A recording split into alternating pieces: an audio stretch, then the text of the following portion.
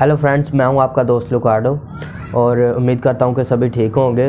Welcome to my YouTube channel और आज हम जिस टॉपिक पर बात करेंगे वो है कि which fruits are good for gaining muscle इस वीडियो के साथ जुड़े रहिएगा और दोस्तों आपको ये नाम सुनकर बहुत से जो है फ्रूट्स आपके जहन में आ रहे होंगे कि हो सकता है ये फ्रूट या ये फ्रूट या हो सकता है जो बॉडी बिल्डर्स फ्रूट्स खाते हैं, वो फ्रूट्स भी जो है वो मसल गेनिंग के लिए काम करते हैं। तो चलिए मैं आपको बताता हूँ कि कौन कौन से फ्रूट्स हैं। तो सबसे पहले तो मैं बात करूँगा बनानास की, जिन्हें हम उर्दू में केले भी कहते हैं।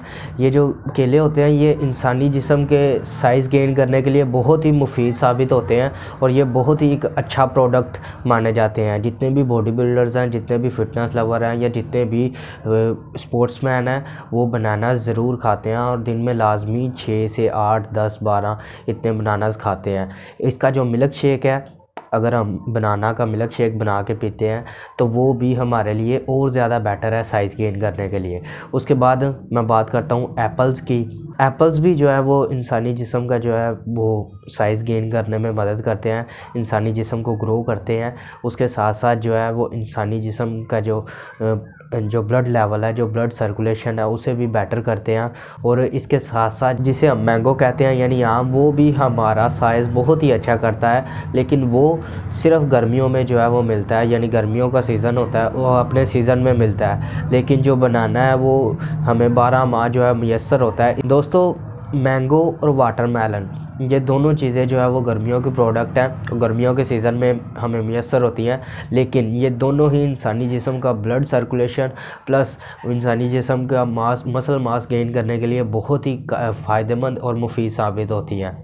दोस्तों, ये तीन चार बेसिक और मेन फ्रूट्स हैं। Bananas apple peaches mango watermelon ये चार पाँच मेन फ्रूट्स हैं जो इंसानी जिसम के जो है मसल गेनिंग के लिए बहुत ही मुफीद साबित होते हैं और इन चीज़ों को जो है वो इस्तेमाल करने का तरीका ये है कि अगर आप वर्कआउट करते हैं, फ़र्ज़ करें कि आप वर्कआउट करते हैं या एक्सरसाइज करते हैं, घर में करते हैं या आप जिम में करते हैं तो वर्कआउट करने के बाद या एक्सरसाइज करने के बाद या जो भी आप वर्जिश कर रहे हैं, उसे करने के बाद आपने जितने भी काब्स हैं काब्स इन्हें कहते हैं, जो मसल गेनिंग करने के प्रोडक्ट्स होते हैं, उन्हें हम काब्स कहते हैं इंग्लिश में और ये काब्स जो है हमें लोड करने चाहिए एक्सरसाइज करने के बाद वर्कआउट करने के बाद, ठीक है? यानी जिसमें बनाना पोटैटोज़ मैंगो वाटरमेलन ये सभी चीज़ें जो है वो इसमें आ जाती हैं और ये वर्कआउट करने के बाद जो है हमें खानी चाहिए।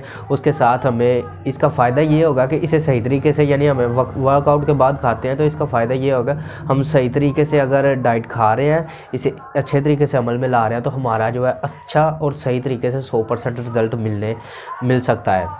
तो दोस्तों उम्मीद करता हूँ कि मेरी ये वीडियो आपके लिए इन्फॉर्मेटिव साबित हुई होगी। मज़ीद इन्फॉर्मेटिव वीडियोस के लिए जो हेल्थ रिलेटेड हैं, मेरे इस यूट्यूब चैनल पर विज़िट कीजिएगा और मेरे इस चैनल को सब्सक्राइब कर लीजिएगा और बेल आइकन के बटन को प्रेस कर लीजिएगा। मिलते हैं एक अगली वीडियो में एक नए टॉपिक के साथ। Peace out